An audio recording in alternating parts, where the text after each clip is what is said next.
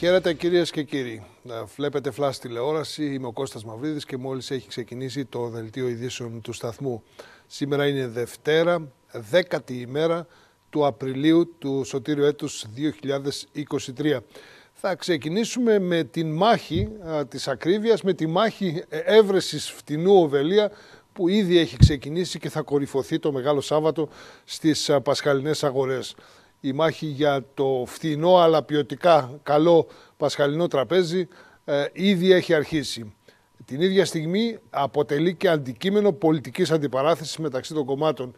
Η κυβέρνηση από την πλευρά της ε, με το καλάθι του Πάσχα λέει ότι συγκρατεί τις τιμές. Ε, την, από την άλλη πλευρά η αντιπολίτευση κατηγορεί την ε, κυβέρνηση ότι λειτουργεί υπέρ των ολίγων και εις βάρος των πολλών. Πάμε να δούμε ένα συνολικό βίντεο που έχει να κάνει και με την ακρίβεια, γιατί ήδη βλέπουμε μια τιμολόγηση και μια ανωδική πορεία σε ό,τι αφορά την αντλία στα καύσιμα, αλλά και με την ε, διαμάχη για το πασχαλινό τραπέζι.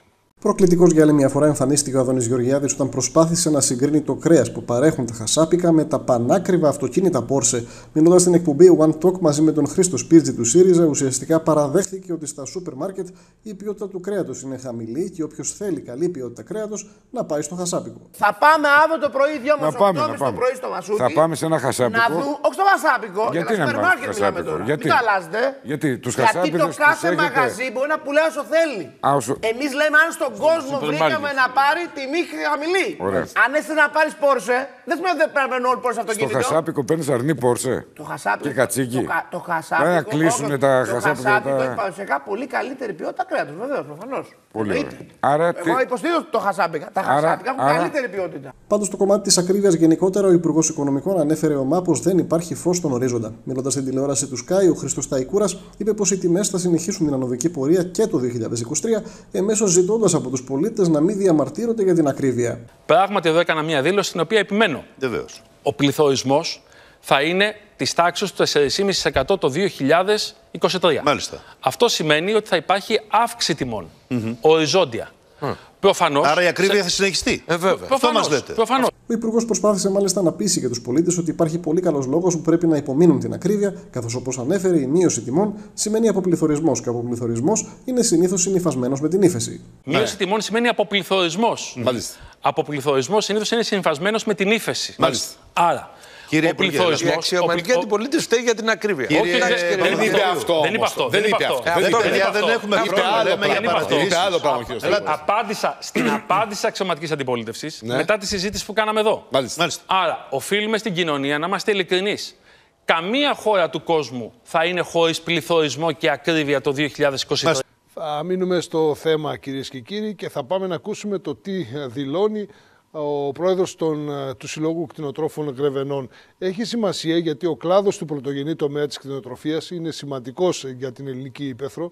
Κρατά ζωντανά τα χωριά ο Έλληνας κτηνοτρόφους και στην περίπτωση που αφανιστεί η κτηνοτροφία αμή τι άλλο θα ερημώσει και η ύπεθρος αλλά θα πάψει και αυτό το ποιοτικό καλό ε, προϊόν της ελληνικής κτηνοτροφίας. Οι κτηνοτρόφοι από την πλευρά τους κάνουν λόγο για συμπίεση των τιμών σε βαθμό που λόγω και της ε, χρονικής διάρκειας ε, των αγορών που είναι το Μεγάλο Σάββατο ε, πιέζονται πάρα πολύ οι τιμές με αποτέλεσμα να πολλούν και κάτω του κόστους ενώ την ίδια στιγμή στο ράφιο ο καταναλωτής παραμένει με ακριβή τιμή στον, στο αμνοερήφιο είτε είναι αρνάκι γάλακτος είτε είναι κατσίκι.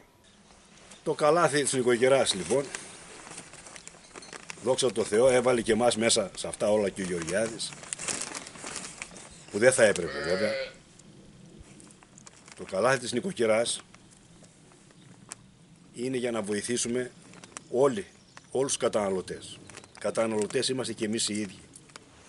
Αυτό όμως που έκανε εμάς σαν παραγωγούς δεν μας ζημιώνει, μας τελειώνει.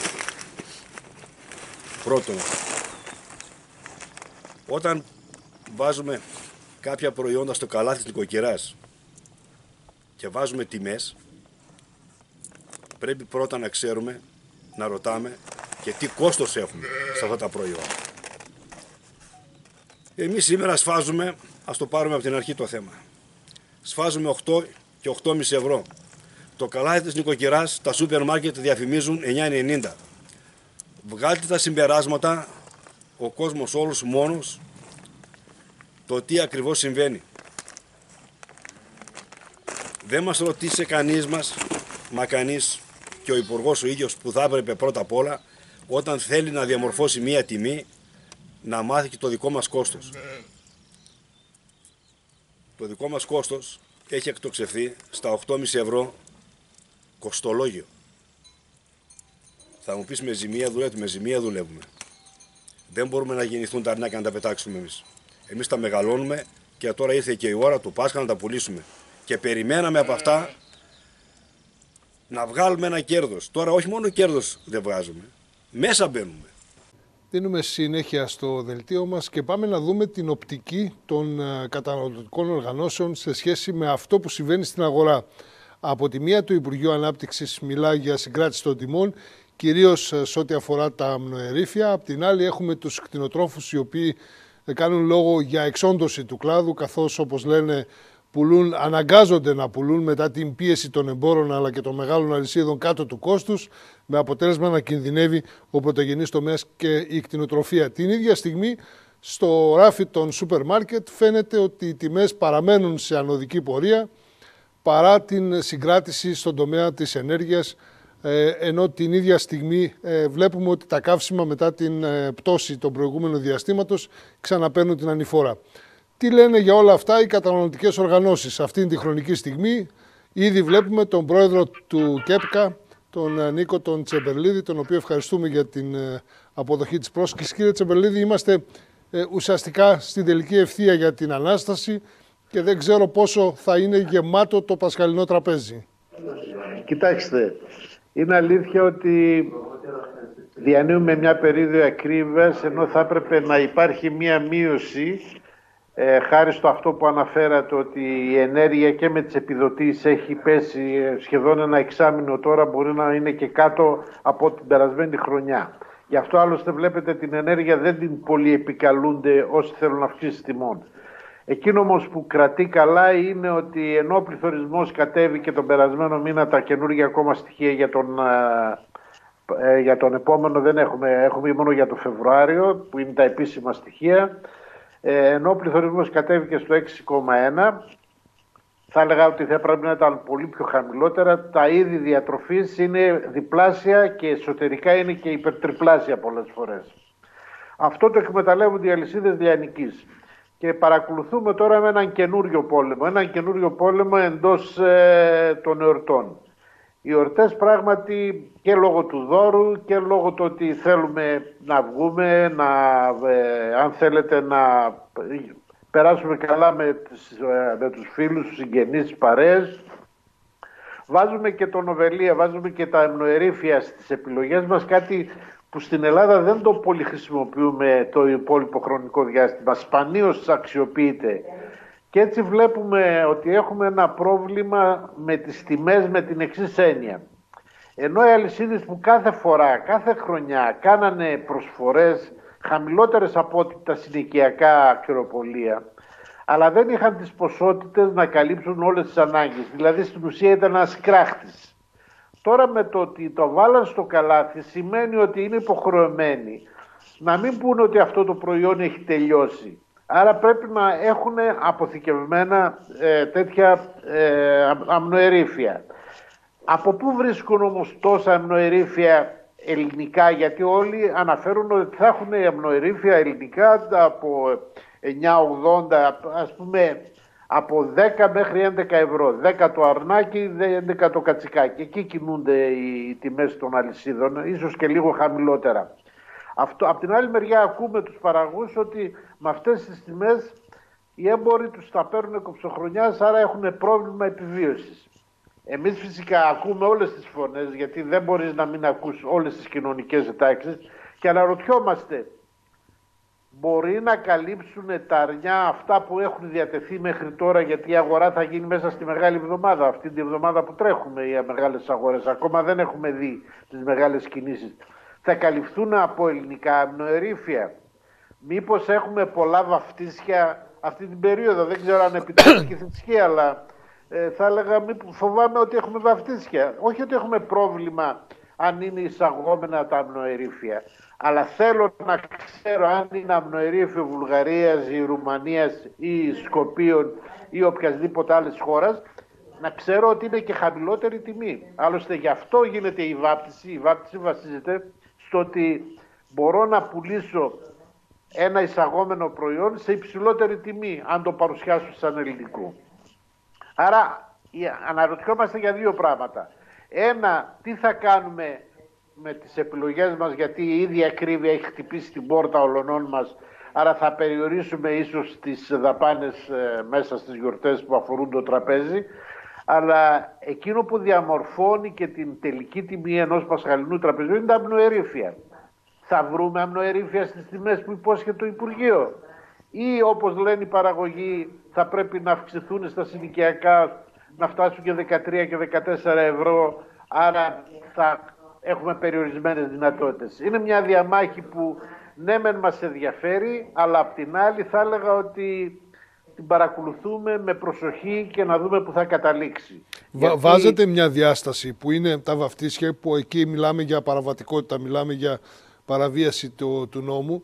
Ε, απ' την άλλη οι κτηνοτρόφοι επειδή έχουν και το άγχος το χρονικό περιθώριο που είναι μέχρι το Μεγάλο Σάββατο γιατί αν πάνε την δεύτερη μέρα ε, του Πάσχα δεν έχει νόημα να πουλούν τα, τα μνοερήφια τους άρα πιέζονται χρονικά και η πίεση αυτή μπορεί να τους βγαίνει και σε άγχος και αναγκαστικά επειδή δεν θέλουν να τους μείνει να πουλούν πράγματι κάτω του κόστους.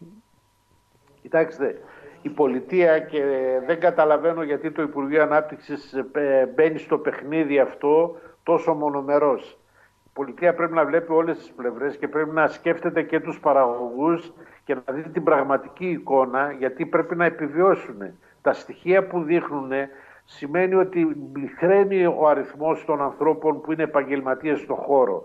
Άρα αυτό πρέπει να δει και αυτή τη διάσταση, γιατί σε λίγο να, μην, μπορεί να μην έχουμε αμνοερήφια ελληνικά έτσι όπως πάνε. θα, θα λύσουμε και το θέμα των βαφτισιών. Θα λύσουμε και το θέμα από τα βαφτίσια, γιατί δεν θα έχουμε ελληνικά. Ε, ναι, ε, εν πάση περιπτώσει δεν πρέπει να παίρνει αυτή την μονομέρεια και να, αν θέλετε, και έχουν δίκιο οι παραγωγοί, εδώ γίνεται μια παρέμβαση στον υγιή ανταγωνισμό βλέπω να παίζεται ένα παιχνίδι υπέρ των μεγάλων καταστημάτων και όχι να αφήσουμε ελεύθερη την αγορά να διαμορφώσει τις τιμές. Γιατί και ο καταναλωτής θα, θα κοιτάξει τις τιμές, θα κάνει την έρευνά του και θα κάνει τις επιλογές του. Αυτό πρέπει να το καταλάβουν και οι έμποροι και οι παραγωγοί.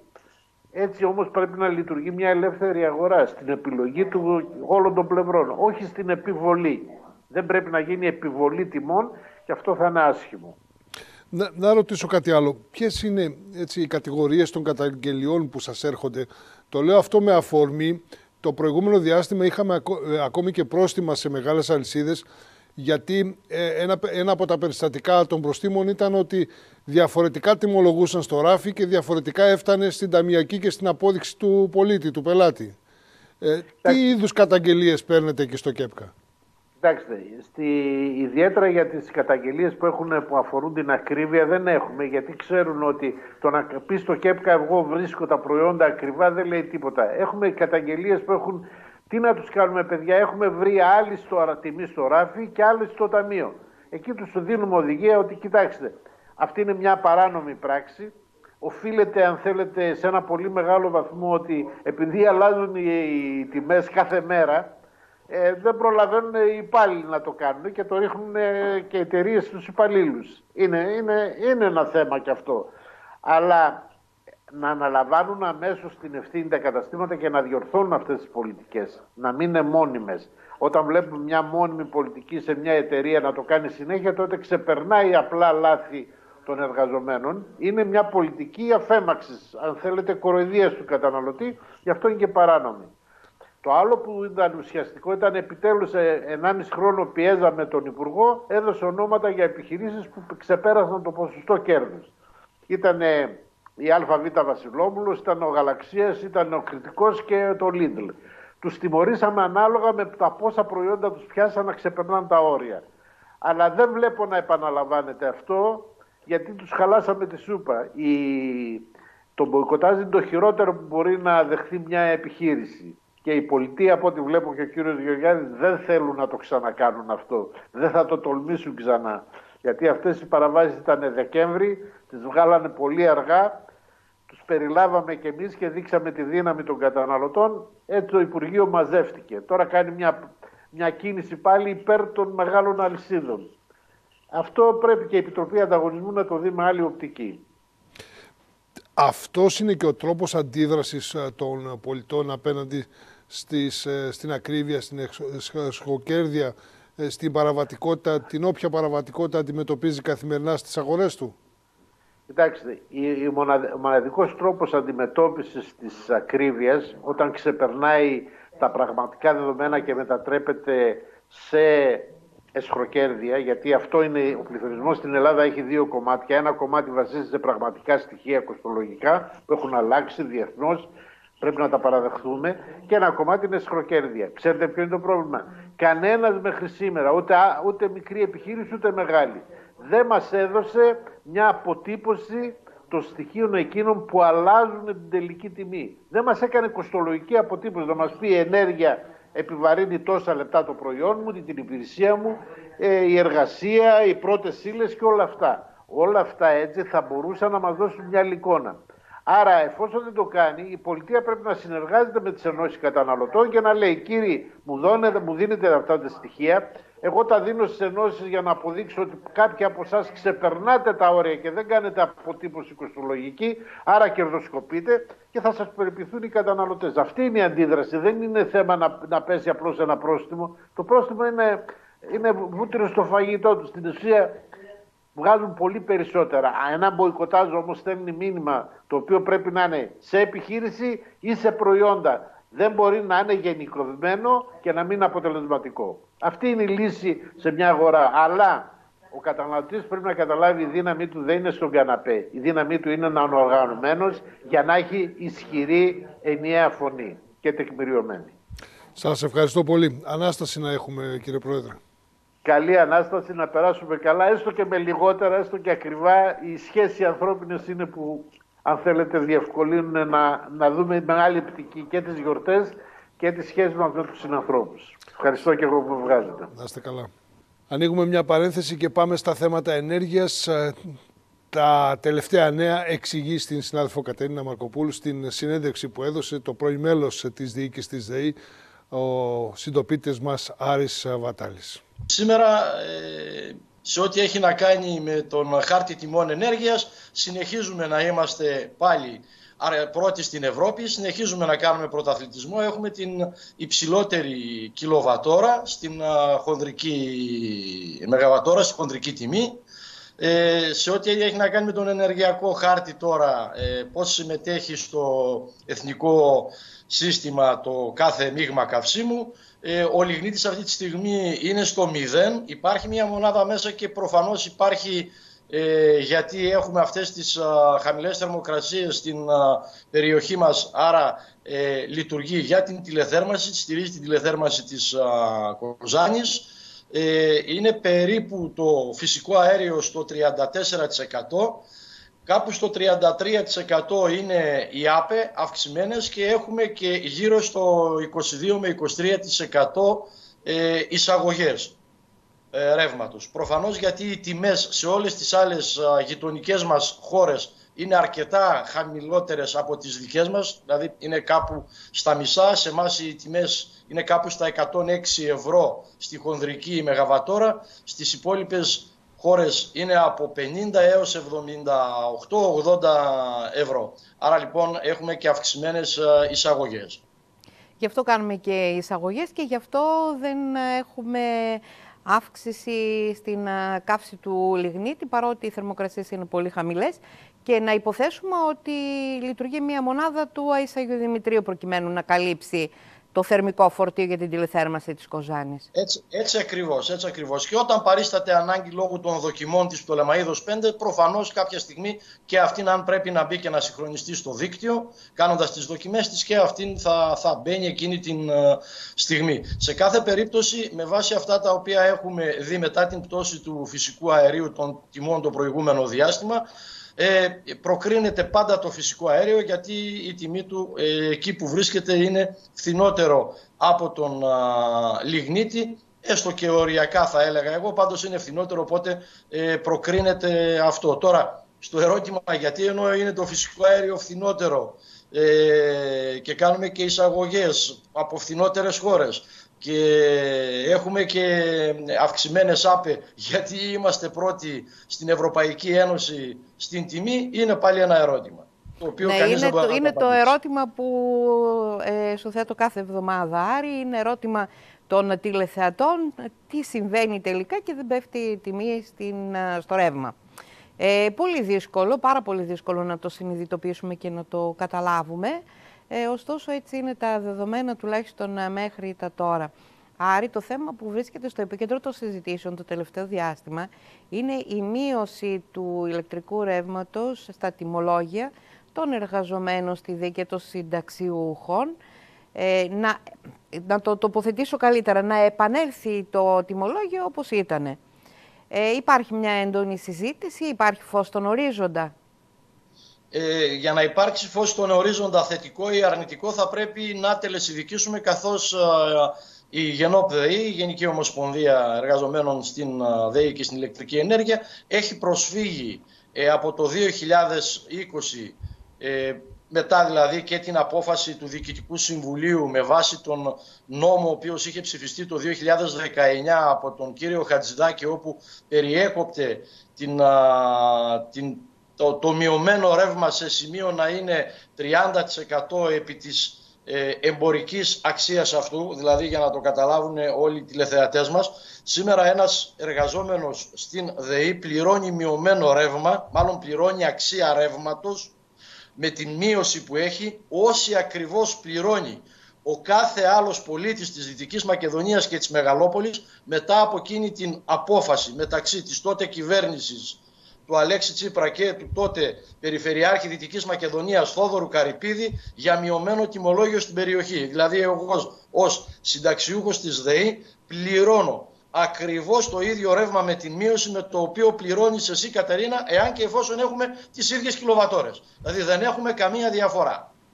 Ναι, παραμένει, παραμένει το φθηνό τιμολόγιο.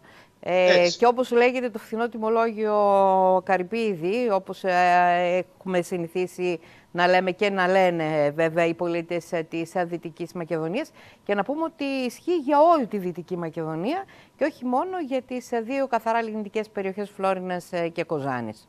Για όλη τη Δυτική Μακεδονία και για την, για την Αρκαδία, για την Μεγαλόπολη ναι. και την Τρίπολη, αν δεν κάνω λάθος. Ναι. Ε, τώρα, σε ό,τι έχει να κάνει με αυτό, ήδη έχει προσφύγει, όπως είπαμε, η Ομοσπονδία. Υπάρχουν 8 αναβολές μέχρι αυτή τη στιγμή, πρωτοφανές για τα δικαστικά χρονικά της α, χώρας. Όταν κάποιες άλλες αποφάσεις ε, βγαίνουν μέσα σε 14 α, μόλις μέρες, που αφορούν ένα μεγάλο κοινωνικό σύνολο, υπάρχουν 8 αναβολές Τώρα κατέθεσε η ΔΕΗ το δικό της σκεπτικό από το 2020 και ε, ευελπιστούμε ότι στο επόμενο δικαστήριο θα έχει γίνει η ακροαματική διαδικασία για να δούμε αν τελικά είχε δίκιο η ΔΕΗ που έκοψε το μειωμένο ρεύμα με τον τρόπο και μέχρι το ποσό το οποίο ε, το έκοψε ή όχι. Δεν αλλάζει η αλλαγή στην ηγεσία της ε, ΓΕΝΟΠ τα διαδικαστικά αυτά ζητήματα και το αίτημα των εργαζομένων αλλά και των συνταξιούχων στη ΔΕΗ; Όχι, όχι. Σε καμία περίπτωση νομίζω είναι διεκδίκηση της Ομοσπονδίας. Δεν μπορεί να παραιτηθεί από αυτό. Ε, θίγει και αυτούς, θίγει και όλους τους εργαζόμενους και τους ε, συνταξιούχους που ήταν στην ε, ΔΕΗ. Συνεχίζουν τώρα, μένει να δούμε όταν θα γίνει το δικαστήριο ποια θα είναι η έκβαση και η απόφαση της ε, δικαιοσύνης επ' αυτού. Επίσης, τις τελευταίες ημέρες ε, γίνεται πολλή συζήτηση μετά και την τελευταία Γενική Συνέλευση ε, των μετόχων της ε, ΔΕΗ για την πρίκα που έχει πλέον στη διάθεσή της η εταιρεία Μετάβαση ΑΕ, μια εταιρεία που στήθηκε άρη προκειμένου να διαπραγματευτεί σε εισαγωγικά το μέλλον της περιοχής, την απολιγνητοποίηση και πώς αυτή θα προχωρήσει. Έχουμε...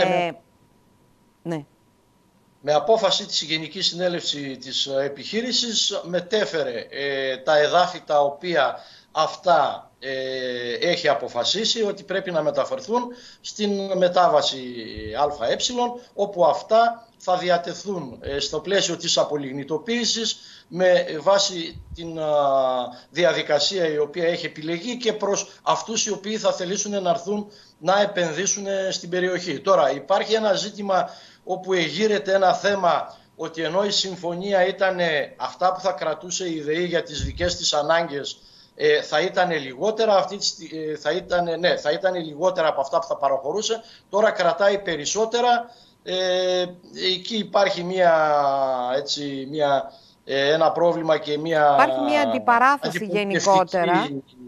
Ένας αντιπολιτευτικός λόγος ε, σε αυτό για το αν είναι σωστό ή όχι. Σε κάθε περίπτωση αυτά πλέον είναι και επίσημα έξω από τη ΔΕΗ. Βέβαια να πούμε ότι η ΔΕΗ έναντι όλων αυτών που παραχώρησε ε, έχει απομειώσει το δικό της το ε, ποσό σε ό,τι έχει να κάνει και την θέση της σε ό,τι έχει να κάνει με την αποκατάσταση των εδαφών μετά την, το, το, την, το τέλος της εποχής της ε, εδώ και της εξόριξης του λιγνίτη. Πιθανά να θέλει η ΔΕΗ να αξιοποιήσει αυτά τα εδάφη για την κατασκευή φωτοβολταϊκών. Άλλωστε βλέπουμε ότι υπάρχει μια έντονη δραστηριότητα όχι μόνο στα ε, πρώην ορυχεία, αλλά και σε άλλες ε, περιοχές ε, της Δυτικής Μακεδονίας. Ωστόσο, υπάρχει περίπτωση να αλλάξει αυτή η απόφαση και να δοθούν περισσότερα εδάφη στη μετάβαση ΑΕ. Και βέβαια η μετάβαση ΑΕ πάλι θα τα αξιοποιήσει για την εγκατάσταση επιχειρήσεων και όχι για τους πολίτες, αν θες, της Δυτικής Μακεδονίας. Ε, αυτά δεν πρόκειται, δεν νομίζω ότι υπάρχει περίπτωση αυτή η απόφαση να αλλάξει, νομίζω πως έχει τελειώσει. Ε, απλά η μετάβαση ΑΕ, όπως ακριβώς είπες Κατερίνα, αυτά θα τα διαθέσει προς ε, όλους αυτούς τους επιχειρηματίες ή προς όλους οι οποίοι θα ήθελαν να επενδύσουν εν της απολιγνητοποίησης στην περιοχή και να τους ε, διαθέσει κάποια από αυτά τα, τα εδάφη. Τώρα, τι επιχειρήσεις θα είναι. Θα είναι επιχειρήσεις εντάσσεως κεφαλαίου. Θα είναι μικρές επιχειρήσεις βιοτεχνίας ή μικρές βιομηχανίες. Ή θα τα δούμε και αυτά να δίδονται προς ε, διάφορους επιχειρηματίες οι οποίοι θα έρθουν να στήσουν και αυτοί φωτοβολταϊκά. Μένει να το δούμε. Εμείς ευελπιστούμε και αυτό απαιτεί νομίζω η περιοχή ότι αυτά θα πρέπει να δοθούν σε ανθρώπους οι οποίοι πραγματικά θα θελήσουν να έρθουν να επενδύσουν εδώ και θα δώσουν θέσεις εργασίας διαχρονικά στην περιοχή και όχι στη μέσω της κατασκευής ε, ενός φωτοβολταϊκού πάρκου όπου εκεί θα υπάρχει έτσι μια ε, ξέρω έτσι, ο yeah. κόσμος να δουλέψει αλλά δυστυχώς με το τέλος αυτού μετά από 6, 7, 8, 10 μήνες, 12, 2 χρόνια πότε θα τελειώσει ε, δεν θα δουλεύει κανείς παρά μόνο λιγοστά άτομα σε ό,τι έχει να κάνει με τη συντήρηση αυτών. Γι' αυτό ζητάνε επιχειρήσεις παραγωγικές στην περιοχή προκειμένου ε, να εργαστούν ε, άνεργοι της περιοχής και να ζήσει η περιοχή για την επόμενη μέρα για την μετάβαση όπως έχουμε συνηθίσει να λέμε. Άρη, να σε ρωτήσω λίγο. Εάν αλλάξει η κυβέρνηση και τα σχέδιά της είναι διαφορετικά και τα δεδομένα είναι εντελώς διαφορετικά. Μπορεί να αλλάξει και τα σχέδια της μετάβασης ΑΕ, αλλά και όλα αυτά που έχουν σχέση με την απολιγνητοποίηση; Ε, πολλά πράγματα να αλλάξουν σε σχέση με την απολιγνητοποίηση, Κατερίνα, νομίζω ότι δεν μπορούν να γίνουν πλέον από τη στιγμή που όλα αυτά έχουν δρομολογηθεί. Ε, αυτό όμως που όντως μπορεί να αλλάξει είναι ε, σε ό,τι έχει να κάνει με την ιδέα ενδεχομένως μια διαφορετική λειτουργία, μια παράταση ε, του χρόνου ε, σε ό,τι έχει να κάνει με τα ορυχεία και τις α, μονάδες. Τώρα, προφανώς την μετάβαση ΑΕ είναι μια ε, ΔΕΚΟ η οποία ανήκει στο κράτος. Εκεί θα βάλει το δικό της Διοικητικό Συμβούλιο και προφανώς η επόμενη κυβέρνηση, αν είναι κάποια άλλη, ε, θα δώσει το δικό της στίγμα και να τροποποιήσει όλα αυτά τα οποία αυτή τη στιγμή δρομολογούνται ή έχουν σχεδιαστεί με την μετάβαση ΑΕ. Αυτά είναι τα δεδομένα μέχρι τώρα και τα δεδομένα θα λέγαμε της, ε, της ημέρας. Άρη, σε ευχαριστούμε πολύ. Ε, να, ευχηθούμε καλό Πάσχα, καλή Ανάσταση, με υγεία και όλα τα καλά. Απλά να πούμε ότι ένα δυστυχές γεγονός είναι η τελευταία απόφαση της ΡΑΕ όπου αυξάνει τους λογαριασμούς ρεύματος ένα πάγιο σε ό,τι έχει να κάνει με τον ΔΔΕ και θα δουν αρκετοί από τους συμπολίτες και τους Έλληνες να αυξάνονται οι λογαριασμοί τους ε, κάποιοι οι οποίοι έχουν τριφασικό έως και 7 φορές παραπάνω σε ό,τι έχει να κάνει με αυτό το, το κομμάτι του ΔΔΕ και να φτάνουν να πληρώνουν σχεδόν όσο έναν έμφυα όλο το χρόνο επιπλέον για το, για το σπίτι τους.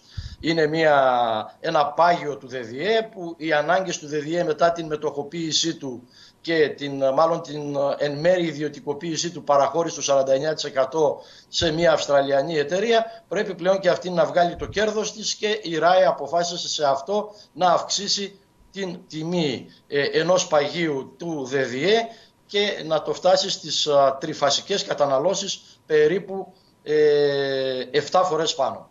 Θα κληθούν δηλαδή να πληρώσουν από 4,5 ευρώ, ε, μάλλον από 11,5 ευρώ που πληρώνουν τώρα, κοντά στα 130 ευρώ. Ε, ήδη έχουν έρθει κάποια αυξημένα τιμολόγια, που σημαίνει ότι θα έχουμε πολλά περισσότερα μετά την, ε, την Ανάσταση την ερχόμενη εβδομάδα. Πολλές λεπτομέρειες γύρω από το θέμα. Άρη, σε ευχαριστούμε πολύ. Καλό Πάσχα. Είστε καλά. Καλό Πάσχα σε όλους. Καλή Ανάσταση. Οι νουνοί ψάχνουν την λαμπάδα. Την λαμπάδα για τα βαφτιστήρια. Και όχι μόνο. Οι γονείς για τα παιδιά, ε, οι αγαπημένοι μεταξύ τους. Η λαμπάδα αποτελεί ένα προϊόν της εποχής ε, του Πάσχα και η επιλογή της θα μπορούσε να συμβάλλει και στην αγορά του προϊόντος αλλά και στην στήριξη ε, κοινωνικών ομάδων αλλά και συλλόγων που έχουν κοινωνικό έργο. Ένας από αυτούς είναι ο Σύλλογος ε, Γονέων Παιδιών με Αναπηρία της Εορδέας με το Πασχαλινό Μπαζάρ που πραγματοποιούν καθημερινά στην κεντρική πλατεία της Πτολεμαΐδας ε, στην διάθεση των πολιτών πασχαλινά είδη μεταξύ αυτών πρώτιστα η πασχαλινή λαμπάδα.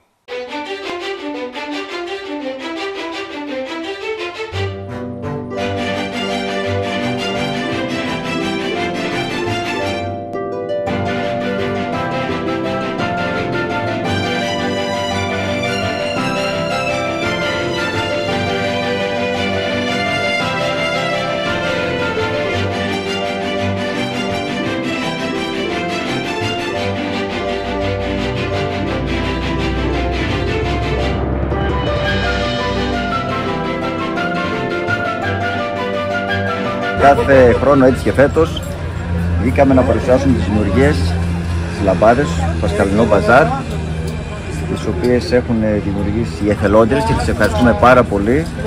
Ευχαριστούμε και τον κόσμο για τη στήριξη κάθε χρόνο που μας στηρίζουν. Θα είμαστε εδώ πέρα μέχρι και την Μεγάλη Τετάρτη. Καθημερινά στην κεντρική πλατεία. Καθημερινά, ναι, στην πλατεία της Τηλεμαΐδας. Βέβαια εξαρτάται και από τον καιρό, αν μας βοηθήσει. Τι, τι μπορούμε να βρούμε εκτός από τις λαμπάδες; Βλέπω ε, λαμπάδες με διάφορα διακοσμημένες, αλλά και άλλα πράγματα που υπάρχουν. Είναι. Και άλλα πασχαλινά είδη, όπως αποθήκες, Για την μου είναι κάποια καλάθια. Αυτή. Και ό,τι αφορά το... Το 20 χρόνια χαρά είναι αυτή. Ωραία είναι. Θες να πάρω... Ευχαριστούμε τον κόσμο και σας ευχόμαστε σε όλο τον κόσμο καλή Ανάσταση.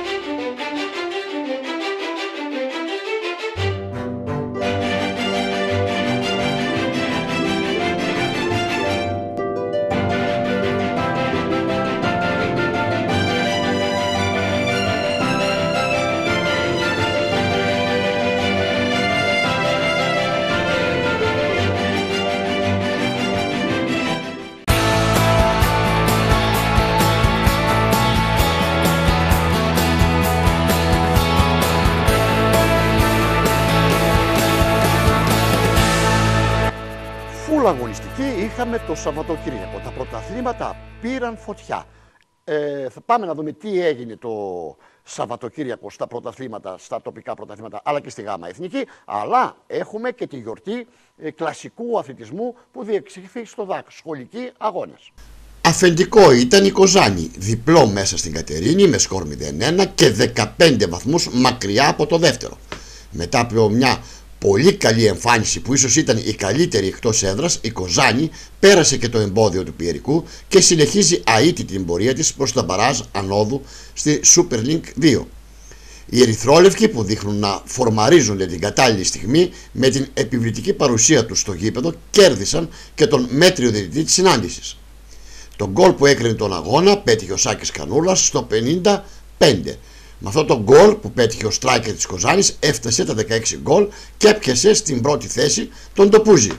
Η Κοζάνη, να αναφέρουμε, πέτυχε και δεύτερο γκολ με τον Αποστολίδη, αλλά ο διαιτητής, για το λόγο που μόνο αυτός ξέρει, το ακύρωσε αφήνοντας έκπληκτους τους ποδοσφαιριστές και τους φιλάθλους. Με σπασμένα τα φρένα συνεχίζει η ΑΕΠ την τρελή της πορεία προς τη σωτηρία. Αυτή τη φορά επιβλήθηκε του Εδεσαϊκού με σκορ 3-0.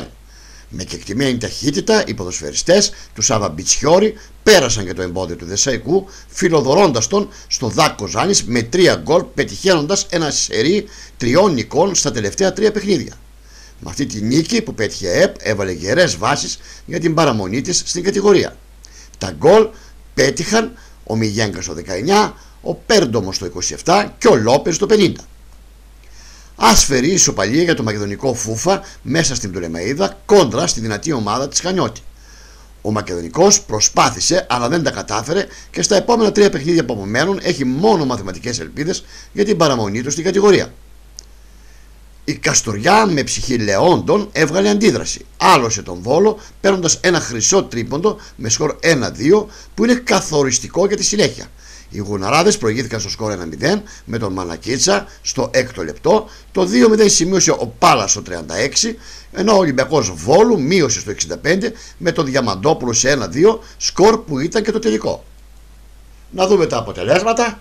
23η αγωνιστική, Μακεδονικός Φούφα Χανιώτης 0-0, Πιερικός Κοζάνη 0-1, Ολυμπιακός Βόλου Καστοριά 1-2, Κεραυνός Αγγελοχωρίου, Εθνικός Κεραμιδίου 0-2, Πάο Κριστόνης Δοτιάς Αγιάς 3-0, Ελασσόνα Σβορώνος 0-0, ΑΕΠ Κοζάνης Εδεσαϊκός 3-0. Στη βαθμολογία η Κοζάνη 53 βαθμούς, Χανιώτη 38, Πιερικός Εθνικός Κεραμιδίου 35, Κεραυνός Αγγελοχωρίου και Σβορώνος 33 βαθμούς, Καστοριά και ΑΕΠ Ποντίο Κοζάνης στους 31, Πάο Κριστόνης 30, Εδεσαϊκός και Ελασσόνα 27 βαθμούς, Μακεδονικός Φούφα στους 24, 22 βαθμούς Ολυμπιακός Βόλου και ο Δοτιέας Αγιάς 17 βαθμούς. Επόμενη αγωνιστική την Τετάρτη 12 Απριλίου Πιερικός Μακεδονικός Φούφα, Χανιώτης Ολυμπιακός Βόλου, Κοζάνη Κεραυνός Αγγελοχωρίου, Καστοριά Πάο Κριστόνης, Εθνικός Κεραμιδίου Ελασσόνα, Δοτιάς Αγιάς ΑΕΠ Κοζάνης, Εδεσαϊκός Σβορώνος. Στην ΕΠΣ Κοζάνης βροχή έπεφταν τα γκολ στην 24η αγωνιστική της Α κατηγορίας. Απόλυτη ισορροπία αποτελεσμάτων. Τρεις νίκες γηπεδούχων, τρεις νίκες φιλοξενουμένων. Σημειώθηκαν 24 γκολ. Καρέ του Εορδαϊκού στη Νέα Νικόπολη. Δύο βήματα πιο κοντά για την κατάκτηση του πρωταθλήματος και τον Παράζα Νόδου. Ξέσπασε στον Τιτάν ο Μακεδονικός Σιάτιστας. Άνεμος 5 μποφόρ ο Πάο Κύρων μέσα στη Λευκόβρηση. Με συνοπτικές διαδικασίες καθάρισε ο Περδίκας. Κέρδισε και κλειδώνει την πέμπτη θέση της βαθμολογίας το Βελβεντό. Μεγάλο διπλό παραμονή της Εράτηρας μέσα στους πύργους. Να δούμε τα αποτελέσματα. 24η αγωνιστική. Μακεδονικός Κοζάνης Εορδαϊκό 0-4. Βελβεντό Ατρόμητος Πουλεμαίδα 1-0. Μακεδονικός Σιάτιστας Τιτάν Σερβίων 6-2.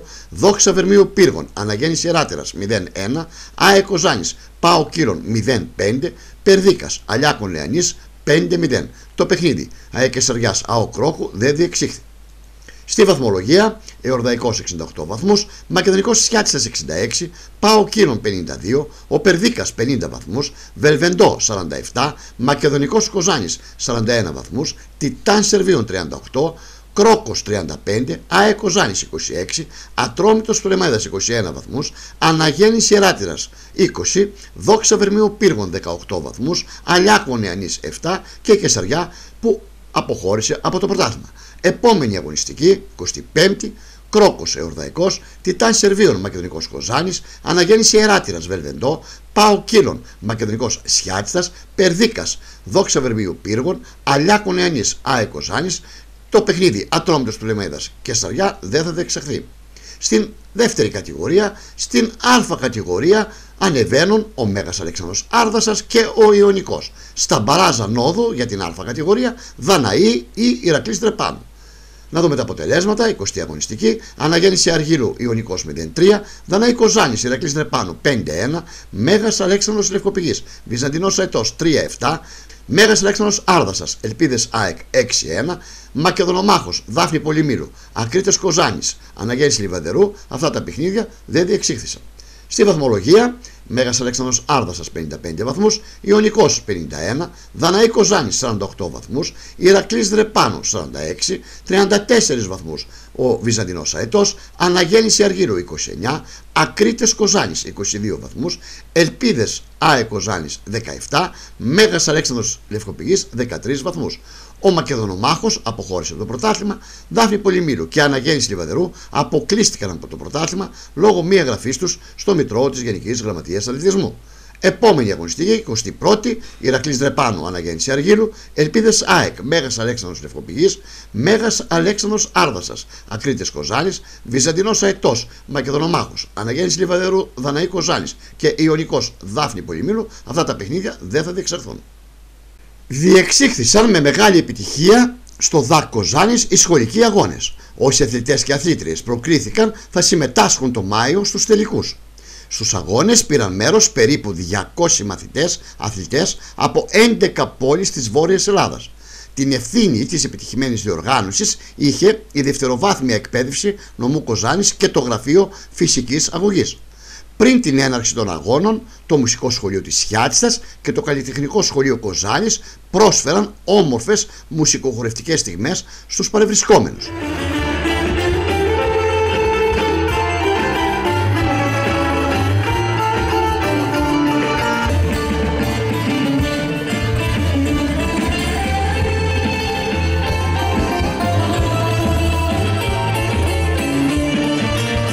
Συγχαρητήρια δόθηκαν στον ΟΑΠ αλλά και σε όσους εργάστηκαν για αυτή την επιτυχημένη αθλητική εκδήλωση. Στην κάμερα του Ματιέστα Σπορ μίλησαν ο κύριος Βασίλης Καβουρίδης, εκπρόσωπος της δευτεροβάθμιας εκπαίδευσης νομού Κοζάνης. Η γιορτή του κλασικού αθλητισμού, να τα λέμε και επιστημονικά. Ε, εδώ στην Κοζάνη η Διεύθυνση Δευτεροβάθμιας ανέλαβε τη β' φάση των αγώνων κλασικού αθλητισμού, ε, η οποία είναι ο τέταρτος όμιλος και όταν μιλάμε για τέταρτο όμιλο, μιλάμε ε, όλη η Ήπειρος από την Άρτα, Πρέβεζα, Λευκάδα, ε, Ιωάννινα, Θεσπρωτεία, Κέρκυρα, η Δυτική Μακεδονία, οι δικές μας οι όμορες ε, νομοί, ε, Φλόρινα, Καστοριά, Γκρεβενά, όπως και η Μαθία. Είναι εδώ τα παιδιά για να συμμετέχουν σε ένα μεγάλο γεγονός. Ε, εδώ ήρθαν τα παιδιά τα οποία προκρίθηκαν από τις πόλεις τους, από, τους, από την περιφερειακή ενότητά τους μάλλον, αφού έχουν βγει πρώτη, δεύτερη εκεί και πιάνοντας κάποια συγκεκριμένα όρια. Σήμερα εδώ, όποιος θα βγαίνει πρώτος και πιάνοντας άλλα όρια, σαφώς πιο δύσκολα από την πρώτη φάση, θα πηγαίνει στον τελικό αγώνα, ο οποίος θα γίνει στην Καβάλα στην Ελευθερούπολη και θα απαρτίζεται από τους πρώτους των 7 ομίλων. Συν ο πρώτος της Κέρκυρας και κλείνει η οχτάδα σε όλη την Ελλάδα. Άρα λοιπόν όποιος φύγει από εδώ θεωρείται ότι είναι ήδη μέσα στους 8 της Ελλάδας, όπως καταλαβαίνετε. Και έχουμε μεγάλη χαρά που το διοργανώνουμε, γιατί ε, χρόνια τώρα η Κοζάνη, επειδή δεν είχε ε, υποδομές όπως το Ταρτάν, που είναι το βασικότερο κλωβός που μπορείτε να δείτε για τις ρήψεις, το Επικοντό, μέχρι και σήμερα ότι θα δούμε στίπουλ που δεν έχει ξαναγίνει ποτέ, είναι δηλαδή ο δρόμος των 2.000 μέτρων με φυσικά εμπόδια που δεν έχει ξαναγίνει σε αυτή την πόλη, όπως δεν έχει ξαναγίνει και επί κοντό. Μίλησε επίσης η Διευθύντρια της Δευτεροβάθμιας Εκπαίδευσης, κυρία Βασιλική Βόντσα.